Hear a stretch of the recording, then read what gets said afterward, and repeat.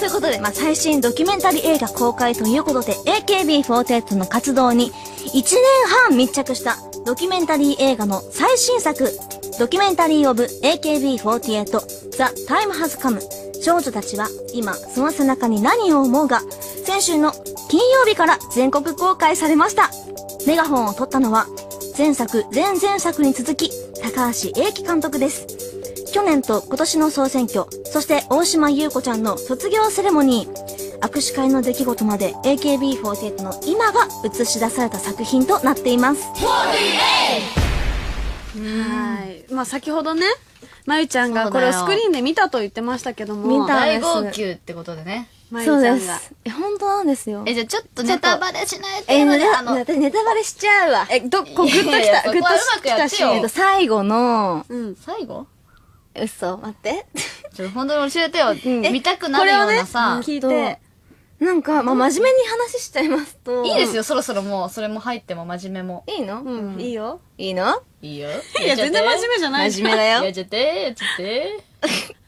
あの、なんか、んすごい、やっぱりその、自分たちが知らないメンバーのその裏側とか、そういう心情とか、その時この子はこんなことを思ってたんだなっていうのが、改めて同じグループのメンバーとしてもそれ、映画で知ることができるし、やっぱすごいね、メンバーが本当にいい顔してるんですよ。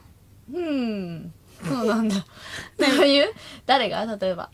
誰だろうなすごい心に残ったシーンとかさ、ネタバレしない程度にさ、泣いたって言ってた、泣いたってとこはどこなんだよ。うーん、どこだろうすごい泣いたってさっきうんね。ね言ってたよね嘘だったんだ、やっぱり。ほんと。どういうふうに思ってそれはでも、も、ちょっと映画館で見てもらわないと、わからないですよ。人によって泣きどころ違うそうだよよね。ねまゆ、まゆはどういうとこが印象的うん。だった、もう一個だけ教えて。一つだけ。いいよ。えーおすすめポイント、まゆちゃんの教えて？あじゃあこのワードい、私すごい好きなところがあるんですよ。あ、お願いし見ます。た方はわかると思う。うん。みおりん。へー。バードっていうかメンバーの名前だけどね。めっちゃ面白いの、そこが。あ、そうなんだ。みおりんの？ちょっとそこは、なんか笑えるところなんですよ。